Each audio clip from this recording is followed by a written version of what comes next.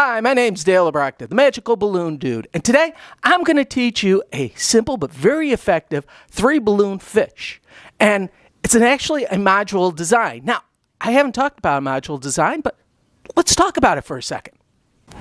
So we're talking about module design. Now, I came across the module design back around the 90s. Uh, Captain Visual was the first guy that I actually came across who actually started building books about module designs. Now, module designs was uh, new for me due to the fact that prior to that, everything I thought had to be done out of one balloon.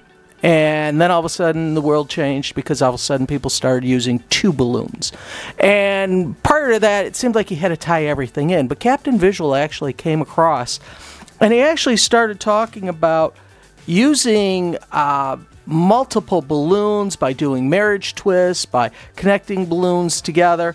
And, and that's where I first started coming across the design. And it then branched out to other people using the same kind of concept and building figures this way. I, I, remember the first time I started seeing these figures here that uh, they were done in parts. Part of that, everything seemed to come together, but it was you build a part, you build a part, and you put it together. And actually, Ken Stillman was probably the master of it because he actually put together a book that when you looked at it, he would go, Here's a face. Oh, by the way, here's seven different faces. And by the way, here's nine different bodies, and you can take those bodies and put them on with nine different faces and have it, you know, infamous amount of characters. It was really, it blew my mind because the process was so different.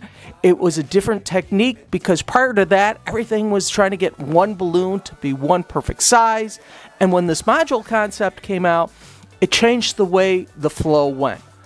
And when I say flow, that, that is the difference between twisting like a teddy bear and twisting a mermaid, which I hate due to the fact that it seems like I have to make the tail, and then I got to stop, then I got to do the body, and then I have to do the chest, and then I have to do the head, then I have to do the hair. It's stop, go, stop, go, stop, go. It's it's a module design in in a in a concept the fish that I'm showing you today is a full module concept in my mind because I'm building three separate pieces and then connecting them to one. So when you hear module design, if you ever hear anybody talk about it, uh, go back to Captain Visual, go back to uh, Ken Stillman, building separate parts, putting them together. And it, it, I have to say, it really changed my mind on doing that. So let's go back to the fish. All right, so let's start the fish. It's three balloons. I'm going to use three colorful balloons. I'm going to start out with an orange balloon, a yellow balloon, and a green balloon. Yes, I know they're odd colors, but you put them together, they look really nice. But here's the key thing fish are multiple colors. Now, you could do your fish all one color, you could break it down into two colors, or in this example, I'm showing you three colors because it's easier for you to understand what parts go where. So, let's start off. What I'm going to do is just inflate the balloon. And I'm only inflating it not even quarter way. Now, this is going to be a simple process. And what we're going to wind up doing is starting off with a pinch twist. We're actually going to start with the mouth. So we start with a pinch twist. That's a one bubble pinch twist. We're going to go about approximately three fingers. One inch bubble, pinch twist.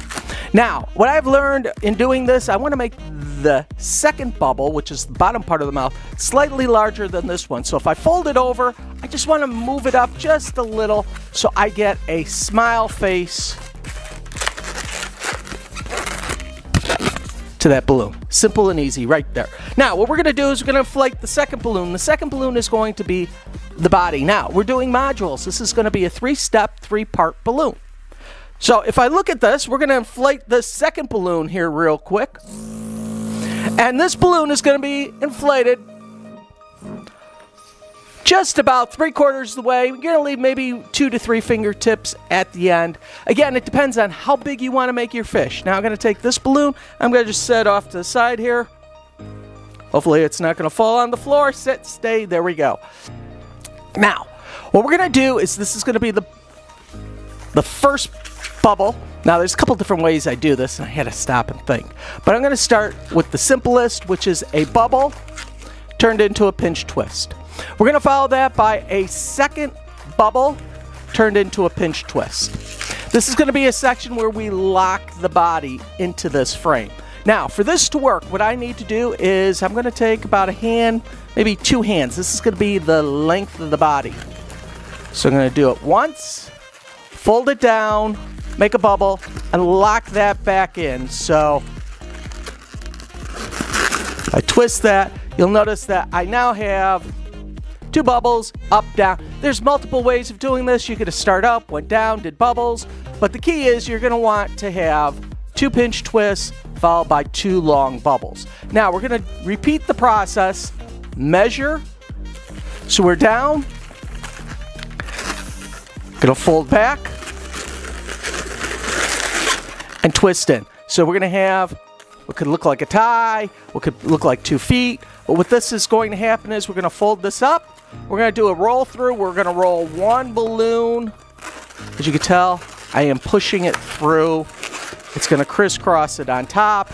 I link it again, spin it through, adjust the bottom. As you can tell, here's the body. It's all crisscross right there, nice and easy. Now we're to go back and I'm to make the tail part, which I'm just to take a simple bubble this is the length. You can figure hand, hand and a half. This is going to be the tail. I'm going to bend it. I want to have a two-part tail. So what I'm to do is fold it, take this section, spin it around, and flip it through. So here's the body of the fish. Here's the fin. You do the fin up. You can do the fin down. You want to make sure that you have the body this way, the tail that way so you can see it. Now, this is where the module comes in. Unlike the normal balloon twisting, like if you did a teddy bear or one balloon object, you started from area, one area and you kept using that balloon. This is something different because we're using modules, and modules, like I say, are simple and easy because you can actually add multiple balloons. Now what I'm going to do is slide this balloon through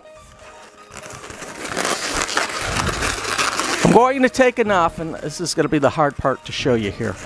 I'm going to slide it through. I want to get enough balloon to go from this point to that point. So if I pull it in tight, I pinch twist because I'm going to bring this balloon over under this pinch twist. So what I've done is I've taken the mouth, as you can see here, I have the mouth, I slide it across through and I connect it to the other pinch twist. Take, break, remove, however you like to remove, scissors, teeth, whatever, tie it off, spin it around.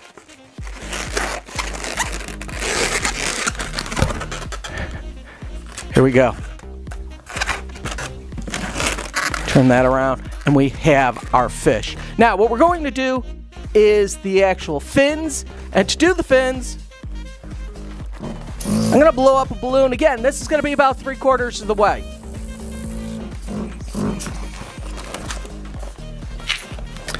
So now, again, modular design, stick it underneath the arm. What we're going to do is the actual fins. What I like to do is, again, I do this instinctively, so I really have to stop and think about it. It's one, two, two and a half hands. I fold it over. What I want to do is wrap. Now, there's a couple different ways you could do this.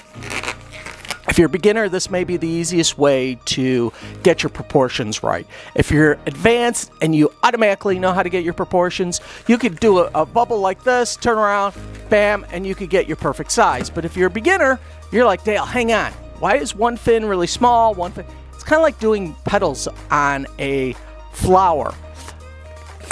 Measure them up.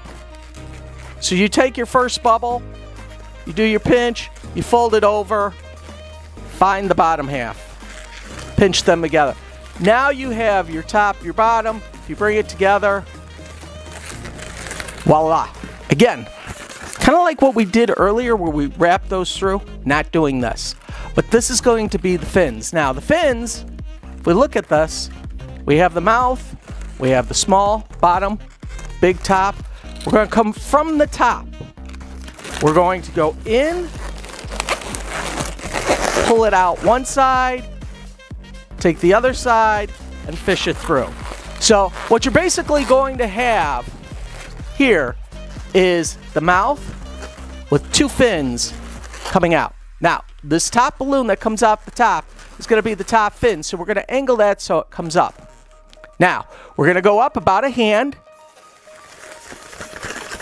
We're going to then make a small bubble, turn it into a pinch twist.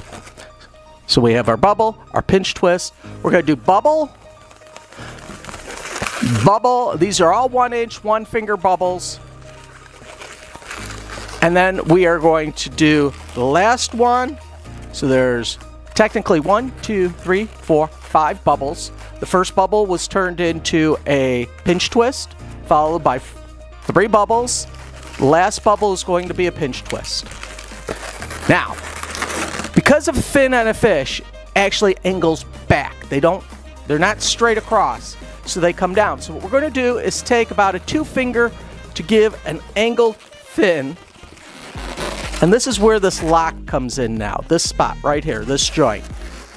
If you flip it around, I'm gonna take this part where my fingers is, spin it right into there, wrap it around. Remove excess. I don't know why I just threw garbage on my floor. Here we go, tie it off.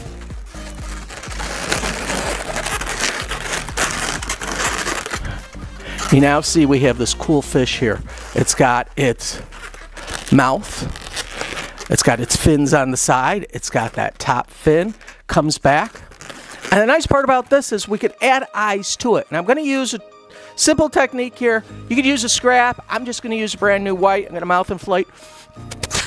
Just get a small little puff. And I'm going to show you how I do this. I want to get my uh, Sharpie marker, good old black Sharpie marker. Remind me, I'm putting that in my pocket so in a couple minutes when I get lost and I can't remember where it's at. All right, I'm gonna take the white balloon. What I'm gonna do is make a bubble. And this is how I do it. I actually don't even make a bubble. What I do is I take this nozzle and wrap it into that cheek area. I then take and make another bubble. Why do I do this? I could just make a bubble and twist it and wrap it in. I find this is efficient. This is, again, unlike the module design where we're building pieces, this is actually going back to the fluid, smooth, going from one direction to the other. This is not I don't call this module design. What I just did here and built was module. What I'm doing now, I don't consider module twisting because what I'm doing is tying in a balloon and then what I'm going to do is tie this balloon in and bring it down. So it actually creates what's like a pinch twist. Then I'm going to stretch the balloon. I'm not breaking the balloon. I'm stretching the balloon, dragging it, forcing all the air out of it, coming back up, making another bubble, squeezing air out. Oh no, I'm losing it.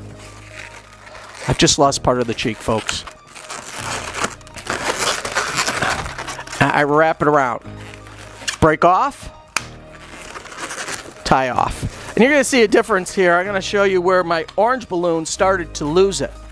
You can see right here. My orange balloon just started to deflate on me. This is the size it should be. It's that gill side. So notice I have eyes. I have my fins. Now, whoop, black marker in my pocket. This is actually, I, I asked a client for a Sharpie and they gave me a CD Sharpie, which is actually purple. It's It writes really smooth. I really like it, but it's purple. It's not really black. You may see it on the camera here. It's for writing on CDs. Compact disc for those uh, younger kids who don't know, or Blu-ray. Here you go. You put the fish on, you put the eyes on. Nice part is if you want to put a fishing pole in, maybe there'll be another video. I'll show you how to put a fishing pole in. But here is a through balloon fish. Quick, efficient. I hope you hit the subscribe. My name is Magical Balloon Dude Dale. Till I see you next time, enjoy, have fun, and hey, let's go fishing. Make sure you click on that subscribe button and never miss a video. Subscribe now. Click the little bell and always be notified of a live broadcast. Follow me on Instagram, and if you're a TikTok fan, you'll find me under the same name, Dale Obrochta. Looking forward to seeing you on social media.